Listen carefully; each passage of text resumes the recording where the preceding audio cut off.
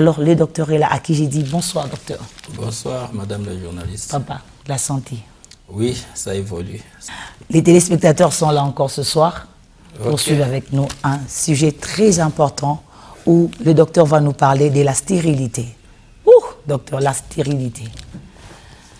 C'est quoi la stérilité La stérilité, par définition, c'est l'incapacité pour un couple de donner au monde un enfant.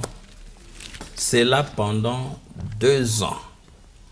C'est-à-dire qu'on ne, on ne parle pas de la stérilité si les gens ont fait huit mois, il n'y a pas de grossesse, non.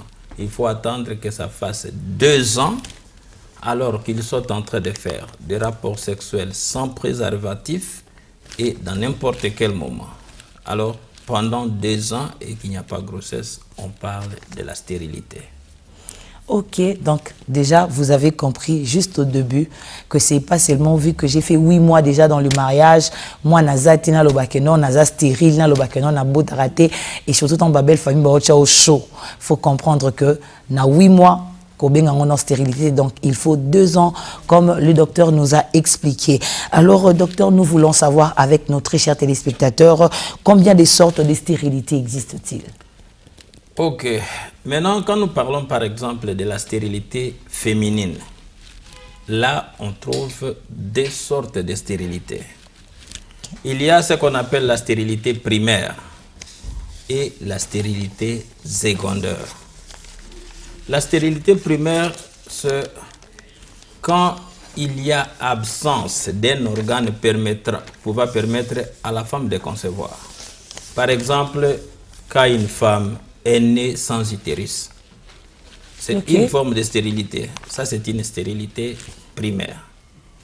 Et par exemple, quand une femme est née et qu'il n'a pas une voie vaginale, c'est aussi une forme de stérilité. Ah, ça, on appelle toujours stérilité primaire. Et il y a la stérilité que la personne contracte après la puberté. Hein, peut-être liée à certains effets qui sont arrivés dans la vie, alors à ce moment, on parle de la stérilité secondaire. C'est ça. Donc, donc, nous avons compris euh, combien de sortes de stérilité existent-ils. Alors, docteur, nous voulons aussi savoir quelque chose. Quelles sont les causes de la stérilité? Ok. Pour la femme, on peut d'abord commencer par des causes.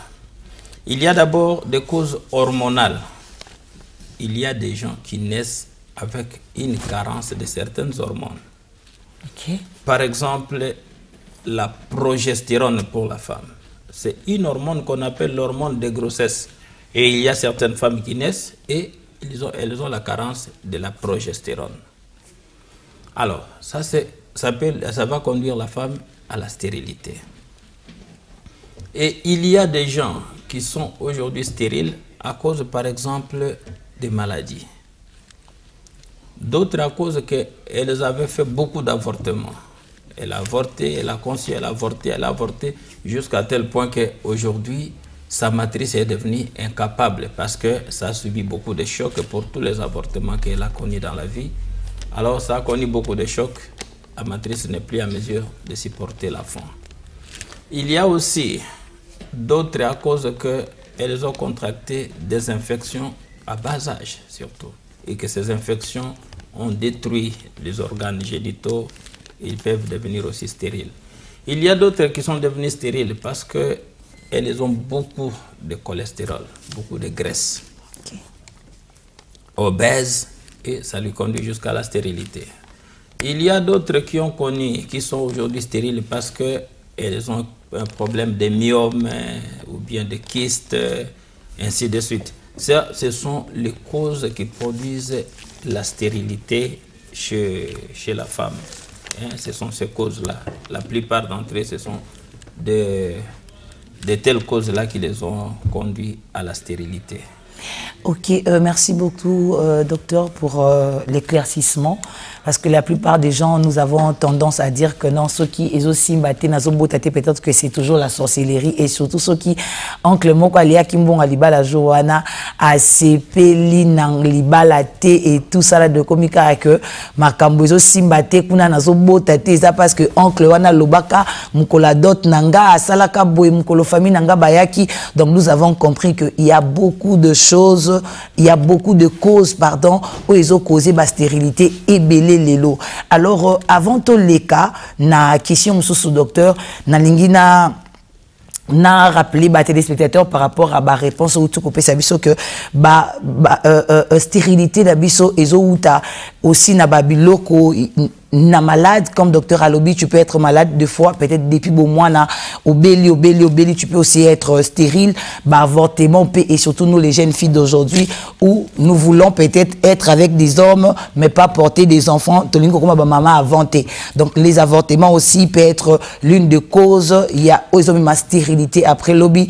Tu deviens femme mariée dans ta maison tu n'as pas d'enfant et au benga Nokondoki ou Papandoki, il faut comprendre qu'il y a tellement de causes qui font en sorte que Moutakoma stérile. Alors, euh, après ça, docteur, nous voulons encore savoir, est-ce que euh, la stérilité, c'est toujours des femmes ou il y a aussi des hommes stériles? Ok, merci beaucoup. Ça, c'est vraiment une conception purement africaine. Hein? Quand on voit une femme qui n'a, dans un couple, on n'a pas d'enfant, directement on impute à la femme. Et actuellement, euh, il y a des recherches qui ont prouvé que jusqu'à 65% des cas de stérilité proviennent aussi des hommes. Jusqu'à 65%. Et il y avait l'autre émission ici, j'étais en train de parler des méfaits du téléphonie mobile avec ses rayons. J'ai parlé que les rayons de téléphone sont en train d'handicaper beaucoup de choses dans notre organisme. Et aujourd'hui, il y a beaucoup de papas qui ne sont pas à mesure de faire féconder. Il y a beaucoup de choses qui se font. On commence d'abord, par exemple, quand vous avez vu votre bébé n'était pas en mesure de s'asseoir hein, pendant qu'il avait 3-4 mois, il ne pouvait pas s'asseoir. Il est venu marcher peut-être après une année, six mois, l'enfant ne marchait pas. Sa colonne vertébrale ne marchait pas bien. Ça voulait vous dire quoi? Que l'enfant est né avec une calcémie. L'enfant n'avait pas suffisamment de calcium. Et comme il n'avait pas de calcium, ça veut dire que même ces cellules, parce que le calcium est dans tout ce qui est liquide dans notre organisme, même ces cellules mâles auront des problèmes de malformation à cause simplement qu'il n'avait pas de calcium. Cet homme-là, quand vous avez eu votre frère qui n'avait pas marché à temps, et vous avez eu qu'il avait des problèmes, où il ne pouvait, sa colonne vertébrale ne tenait pas, aujourd'hui, s'il y a un retard, n'imputez pas d'abord la, la femme. Deux, vous allez voir que je disais ici qu'il y a la différence, l'autre fois, la différence entre quelqu'un qui est euh, faible sexuellement et quelqu'un qui est impuissant. Et je peux vous dire qu'un impuissant peut mettre au monde alors que quelqu'un qui est fort ne met pas au monde. Ça vient d'où? Parce que c'est la qualité des cellules qui compte. Là, ça ne compte pas de la virilité de l'homme. Pour faire féconder une femme, ce n'est pas la virilité de l'homme qui compte, mais c'est la qualité de ses cellules. S'il n'a pas de bonnes cellules, il ne fera pas féconder. Mais un impuissant, par exemple, on est arrivé jusqu'à aujourd'hui, la science a fait des clonages.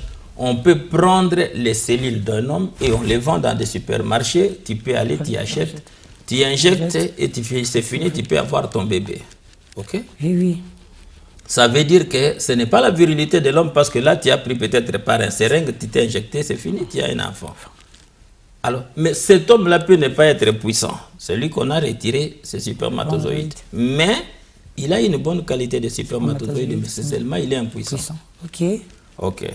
Alors, dans ces cas-là, il y a une particularité où quelqu'un peut être anormal, il n'est pas fort sexuellement, il est impuissant, il peut avoir un enfant, pendant que celui qui est fort, qui prend des femmes, n'a pas d'enfant. Ce n'est pas qu'il prend beaucoup de femmes, c'est qu'il peut mettre au monde. Alors, quand nous allons par exemple prendre nos dispositifs, vous allez voir qu'il y a des gens aujourd'hui qui ne sont pas capables de mettre au monde parce qu'ils ont un problème de varicocèle. Il y a une certaine maladie qu'on appelle varicocèle. Un jour, on va peut-être en parler. Avec ça, l'homme sera incapable de mettre au monde. J'ai rencontré beaucoup de cas, même ici sur place, à Kinshasa, partout. On a rencontré beaucoup de gens comme ça. Mais, vous voyez par exemple, quand quelqu'un peut recourir à la, à la médecine traditionnelle, parce que dans notre tradition, dans nos traditions africaines, on pouvait dire que non, il y a d'autres tribus qui font quoi Dès que tu sais que je ne suis pas en mesure de faire féconder, tu vas peut-être appeler ton frère, tu fais une cérémonie et ton frère peut t'aider à faire des enfants pour que la femme n'aille pas ailleurs. Mais actuellement, avec les prières, les gens ne feront plus ça.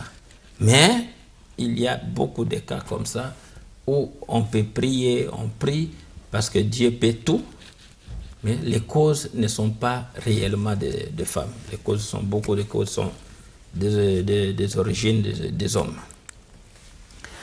Alors, il y a d'autres à cause des infections. Par exemple, quelqu'un qui a contracté beaucoup de fois la syphilis, les blénorragies, de telles infections-là. Par exemple, le, il y a d'autres infections qu'on va citer, il y a même l'hépatite, il y a d'autres infections que vous les avez contractées et ça peut vous amener à être stérile. Il y a des hommes qui sont réellement stériles. Alors n'imputez pas tellement les femmes. Il faut comprendre que ça peut être de deux côtés, d'un côté comme de l'autre. Et surtout, moi, je vais juste euh, marteler là où le docteur a dit que maintenant, pendant les recherches, il y a 65% des hommes stériles. Donc, il ne faut pas seulement mettre la femme mal à l'aise et surtout les belles familles là. Nous, là, les belles familles là. Nous savons toujours comment faire les choses, comment mettre la pression à la femme. Peut-être aussi, c'est l'homme. Alors, il faut venir dans le groupe centre médical américain disponible pour vous et surtout rester connecté dans cette émission. Les docteurs est là pour nous, il est là pour vous, il est là pour tout le monde.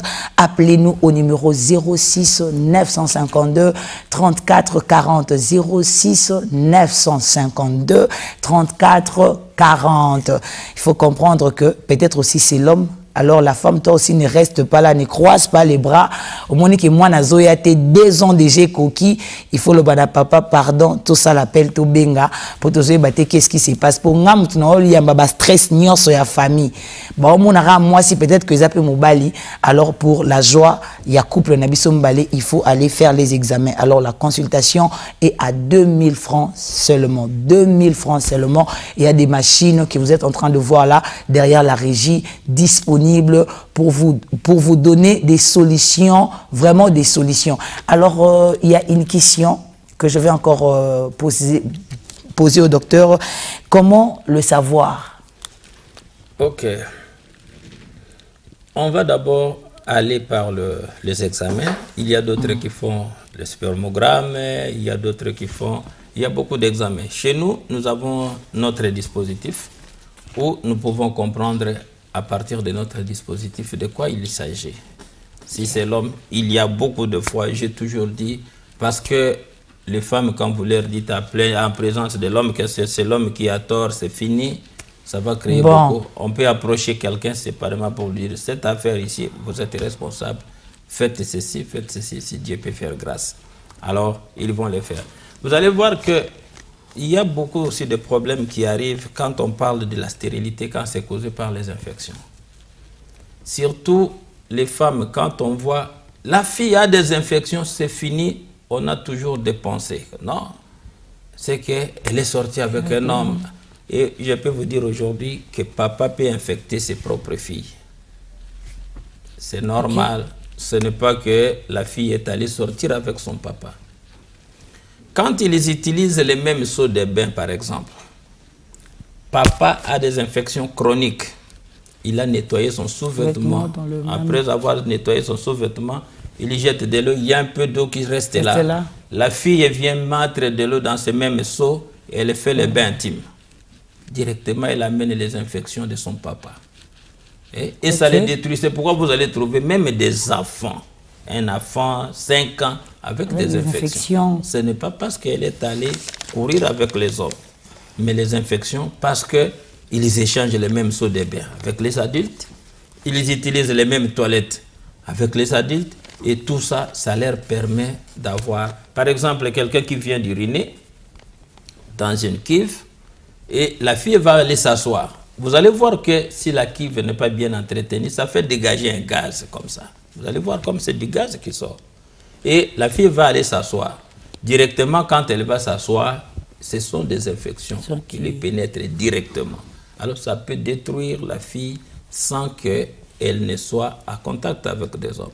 Elle avait des infections sexuellement transmissibles, oui, mais elle est encore vierge, oui, c'est possible.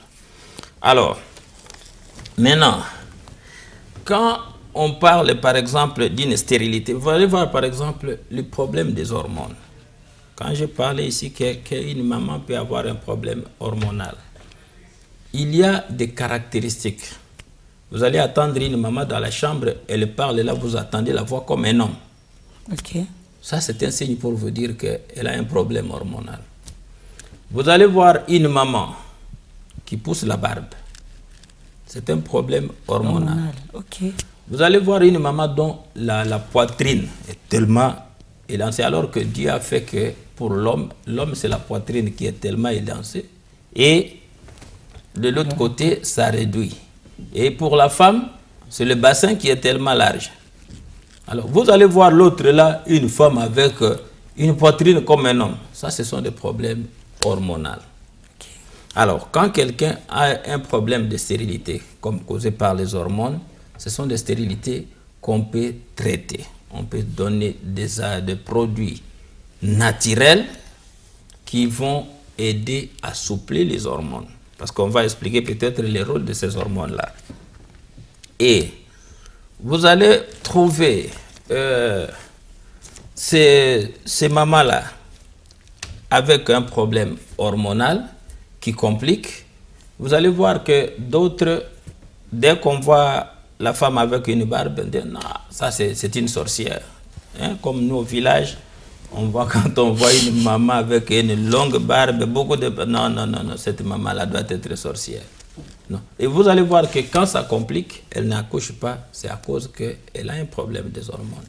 Mais normalement, nous, chez nous, nous ne traitons pas l'écho, la stérilité primaire comme quelqu'un qui manque un organe, là, on ne peut pas te tromper même. Hein, quand on voit par exemple une fille qui a atteint 35 ans, elle vous dit qu'elle n'a jamais réglé. C'est-à-dire qu'elle a un problème. La médecine conventionnelle est capable de traiter une femme comme ça parce qu'elle peut faire une transplantation de l'utérus et elle peut concevoir. Mais nous, nous ne ferons pas ça.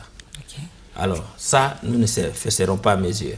Euh, par exemple, quelqu'un qui, qui n'a pas un vacher, là, nous, nous ne traitons pas. Parce que ça, c'est comme ça que tu es né. Là, c'est la médecine conventionnelle qui peut faire ce qu'elle est à mesure de faire. Mais pour nous, nous pouvons avoir des produits qui sont parfois ici des plantes que vous connaissez mais que vous négligez. Ça va jouer quel rôle, par exemple, les hormones? Les hormones joue un rôle important lors de la sécrétion parce que c'est euh, dans cette sécrétion hormonale-là que les cellules vont pénétrer pour aller faire la fécondation. Et si tu as une carence hormonale, on peut te donner des produits qui vont faire jouer le rôle des hormones. On te donne les hormones des plantes, on te donne les hormones des abeilles. Hein. Ah, ça va jouer simplement le rôle que l'hormone devrait jouer, mais ça ne sera pas l'hormone des hommes ok, ça va jouer le rôle. Et dès que ça joue le rôle, c'est seulement de transporter les cellules vers la fécondation, c'est fini, ça s'arrête là. Dès que vous êtes fécondé, les hormones là, ce sont des hormones que nous utilisons, des de, de plantes que nous utilisons, les plantes que nous mangeons, mais quelquefois on ne sait pas que dans cette plante ici, il y a assez d'hormones qui peuvent nous aider.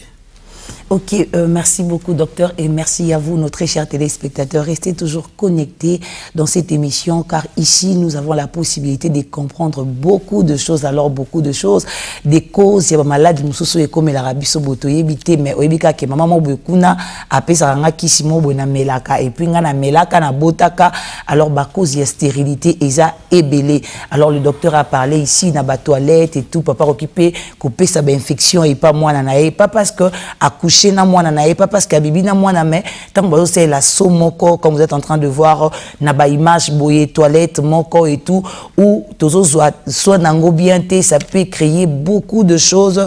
Na na moko basi comme mibali donc bah, infection, on peut, ça peut se transmettre comme ça. Alors restez toujours branchés. Vous avez un problème comme ça, vous avez un problème de stérilité, appelez les docteurs. Il est disponible ici pour nous donner des solutions. Alors, appelez-nous au numéro 06 952 34 40 06 952 34 40. Docteur, y a-t-il euh, un traitement aussi approprié pour la stérilité? Oui, pour la stérilité, il y a un traitement. Il y a un traitement, ça dépend de cas. Si la stérilité est causée par des infections, on va traiter les infections et vous pouvez avoir une solution. Si la stérilité est causée par, par exemple, le fait que vous avez fait beaucoup d'avortements, parce que Hein? Ce sont ces trucs-là qui amènent encore beaucoup de problèmes. Si c'est à cause des avortements, on a des produits qui vont faire que on puisse renforcer le tissu de, votre école pour que ça puisse protéger et garder la grossesse. On a ces produits-là.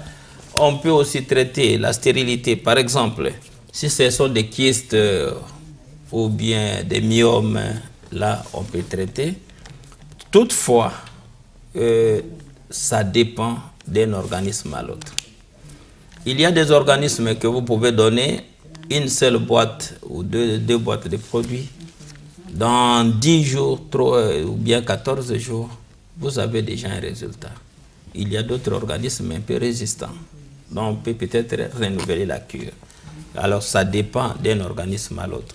Alors pour les hommes par exemple, et vous allez voir que la, stérilité des hommes a des origines, comme nous l'avons parlé, par exemple, s'il a un problème hormonal.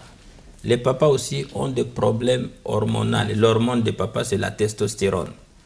Alors, quand les papas ont ces problèmes, nous avons un produit. La médecine alternative est allée faire des recherches pour découvrir l'hormone essentielle qui peut aider un papa à s'en sortir face à des problèmes hormonaux. Et on est allé trouver un animal. Et cet animal-là, c'est l'animal le plus fort sexuellement dans le monde entier. Et on prend l'essence de cet animal-là, ses testicules et ainsi de suite, et on fabrique un produit qui va vous aider. C'est-à-dire, quand tu prends le produit, c'est comme si tu prends les testicules de cet animal-là. Tu manges la viande et tu as ses hormones. Et ça va t'aider à la virilité et à augmenter la teneur de, de, des hormones, la testostérone, et ainsi de suite. Alors, si, par exemple, le papa avait un problème, parce que dans la machine là, on peut voir la cellule masculine là a une tête, l'ancrosome, il a aussi sa quai qui lui permet de nager. Et si le papa a un problème de calcium, c'est que c'est sa tête qui a un problème. S'il Si a une carence à zinc, c'est que c'est sa queue qui a un problème. Alors, s'il n'a pas une bonne queue pour nager correctement, ça ne peut pas faire féconder parce qu'il faut que ça ait une grande vitesse. Et si c'est la, la, la tête, c'est que la tête doit être soit pointue pour perforer l'ovule. Tout ça, ça demande, quand l'un et l'autre soit la tête, soit la queue. Entre les deux, quand il y a quelque chose qui ne marche pas bien, ça va toujours créer des problèmes. Alors, dès que nous voyons que c'est seulement lié à ça, on peut vous donner des produits. On peut voir aussi d'autres qui sont devenus euh, stériles à cause des produits qu'ils ont consommés. Hein, à cause qu'ils ont consommé beaucoup de produits tellement qu'il se sentait faible sexuellement, vu qu'il ne, ne voulait pas accepter l'échec, il a pris des produits. Ces produits-là vont détruire les spermatozoïdes pour que le temps de ces rapports sexuels soit prolongé. Plus il les a consommés, plus les milliers deviennent acides. De telle sorte que, en lui, les spermatozoïdes en venant sont déjà presque morts. Alors, à ce moment-là, on verra le niveau de l'acidité et on peut commencer par la désintoxication et des produits qu'on peut vous donner pour nettoyer d'abord l'acidité que tu as créée à cause de prendre beaucoup de produits. Et tu t'es fait déjà toute une vie. Hein, pour que j'aille là, il faut peut-être un produit, un kifarou, quelque chose comme ça. Alors, et que ça a rendu là, le milieu acide. On doit d'abord désacidifier le milieu pour que tu produises une bonne qualité. Si tu te retrouves à un niveau où tu n'as pas hein, de, de, cellules à grande quantité, nous avons des produits qui peuvent vous aider à augmenter la quantité et la qualité. Hein, il y a la quantité et la qualité. Il y a des produits qui, font, qui jouent pour la qualité. Ça aide votre organisme à produire de bonnes qualités de cellules et une grande aussi quantité de cellules pour que la chose puisse marcher. Pour l'homme, c'est comme ça. Pour la femme, c'est de même. Il y a des produits, soit pour traiter les myomes, je vais vous dire ici, par exemple, comme euh, je l'ai toujours dit, que la médecine alternative a toujours sa place. Aujourd'hui, il y a beaucoup de gens qui traitent les myomes. C'est une très bonne chose, nous apprécions. Mais est-ce que réellement tes parents qui t'ont enseigné la médecine connaissaient les myomes Parce que les myomes, les cancers, ainsi de suite, ce sont des maladies qu'on appelle les maladies modernes c'est venu avec la modernité. Oui, oui. Alors, parce qu'on a beaucoup peut-être mangé des aliments hein, avec des organes génétiquement modifiés que cela est venu. Parce qu'on a fait ceci, parce que l'environnement a changé. Mais tes parents n'avaient pas laissé l'environnement à cet état-là. Alors, comment toi tu es venu prendre ce qu'ils t'ont simplement enseigné pour savoir que je peux détruire le myome c'est comme ça qu'il y a beaucoup d'aventures qui se font. Quand quelqu'un a donné des tisanes, il dit non, je traite le myome. Ce sont des maladies modernes qui nécessitent une étude approfondie et des études modernes. Alors, c'est comme ça que la médecine alternative, en utilisant la haute technologie de recherche, a la possibilité de trouver, parce que tout se trouve déjà dans la nature. Tout se trouve déjà là. Mais découvrir que c'est ça le produit, la plante, l'herbe qui peut faire en sorte que le myome soit détruit, ce n'est pas donné à n'importe qui. Là, il faut un peu de science, il faut un peu de technologie. Alors, par rapport à notre structure, nous avons beaucoup de solutions face à ces problèmes-là. Sauf que nous avons dit, ce n'est pas la stérilité primaire que nous traitons. Ça, il faut être honnête avec vous, la stérilité primaire, on ne traite pas ça chez nous. Alors, c'est au moins ça. Merci beaucoup. Euh, merci, docteur. J'espère que tous nos téléspectateurs ont compris. Le docteur a expliqué qu'il y a le traitement aussi pour euh, la stérilité et par rapport au traitement, il y a des traitements de la stérilité secondaire, mais pas la stérilité primaire. Et le docteur a dit qu'il y a tellement de causes, la stérilité qui est basée sur les, euh, euh, euh, sur les infections, sur les avortements. Plus tu as avorté dans la vie et aujourd'hui tu ne mets pas au monde, il ne faut pas avoir de problème. Il y a des produits appropriés pour ça. Il y a aussi la stérilité par rapport à, un produit que vous avez y à prendre, l'homme, surtout les hommes, quand tu trouves que non, je suis faible et tout, qu'on sort, j'ai y à prendre tellement, tellement de produits et ça affecté. Aujourd'hui, tu es stérile, tu n'arrives pas à mettre au monde, c'est à cause de ça. Merci à vous tous. Bolandi biso na émission oyo tokomi vraiment na suka. Alors docteur Azana Liloba ya suka ya koyebisa ba téléspectateurs na biso nyonso balandi biso. Donc faut qu'on comprendre que tolobela ki stérilité bato oyo bazana ba problème à kobota, ozana problème à kobota. Tolobi que docteur alobi que 8 mois elingi eloba te ke naza stérile. Nalobi ke ça fait deux ans que je suis marié nazozwa bana te naza na mobali na nga deux ans ekoki. Il faut venir se faire examiner. Le docteur va vous recevoir. Le groupe centre médical américain est disponible pour ça. Alors bastérilité ba mosusu ezoya na kati ya bainfection ezoya na kati ya baavortement mwasi azosopazemi asopizemi tellement mingi. Esali ke batusi na ye ya kati ezosimba lisusu te. Mwana azoya te. Ba, ba cause wana nyonso tout vraiment le docteur est disponible. Il y a des produits où ils en ont bien convenient parce que bato bango moko témoigner